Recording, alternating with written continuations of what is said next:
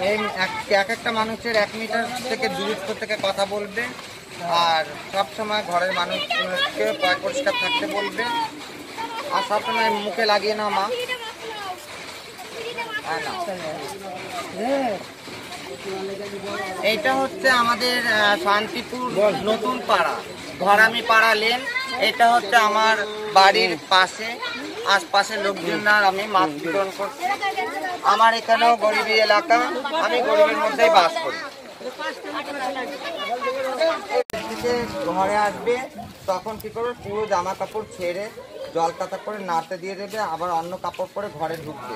তারপর হাত পরিষ্কার করবে, স্যানিটাইজার দিয়ে হাত ধোবে তো হ্যান্ড ওয়াশ দিয়ে, স্যাভলন দিয়ে হাত ধুয়ে তারপরে নিজে কিছু খাবে। তার আগে কিছু খাবে না।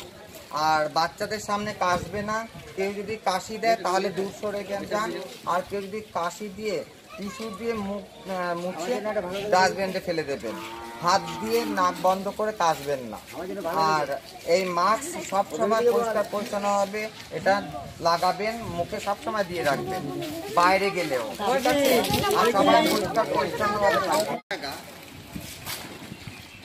তোমরা তাও ভালো, এক জায়গায় তোমরা ওইখানে চলে যাও একজন ওইরকম করে দিয়ে দেবো।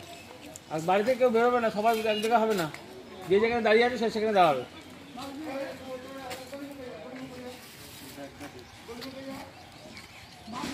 যদি এখনও আমাদের খবরে দর্পণ চ্যানেলটি সাবস্ক্রাইব না করে থাকেন, তাহলে এখনই সাবস্ক্রাইব করুন।